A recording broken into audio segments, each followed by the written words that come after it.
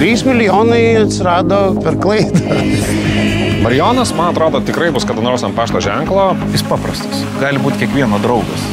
Staiga iškilo grupė, kuri moka groti. Kaip dievus priimdavo, nu, oi.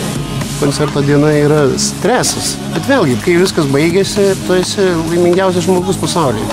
Dokumentinio filmo Vienas iš trijų milijonų premjera gruodžio 9 dieną 21.30 per LRT televiziją.